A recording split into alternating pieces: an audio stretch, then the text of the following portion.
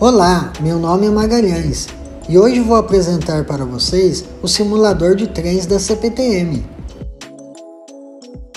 O simulador é uma ferramenta extremamente importante no processo de formação e treinamento de maquinistas. Nele nós conseguimos simular diversas situações do cotidiano, como chuva, falhas na via e nos trens, tudo isso de forma segura e eficiente.